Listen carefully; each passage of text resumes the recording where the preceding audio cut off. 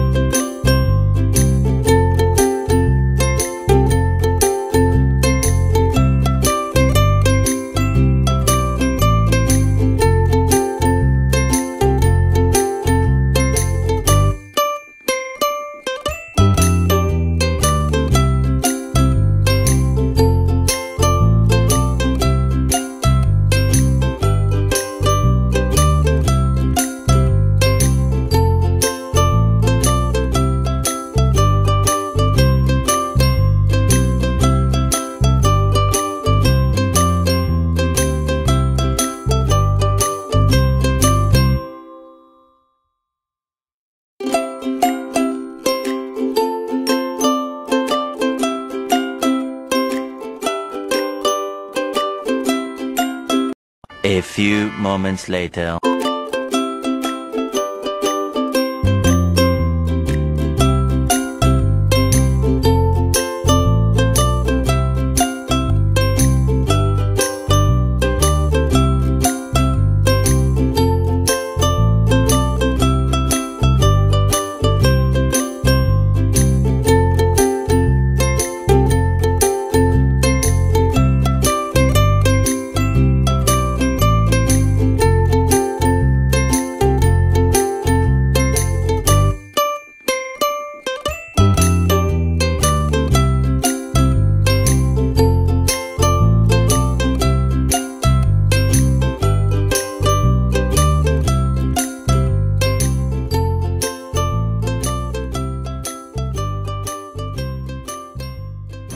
Guys, luto na ang ating chicken adobo.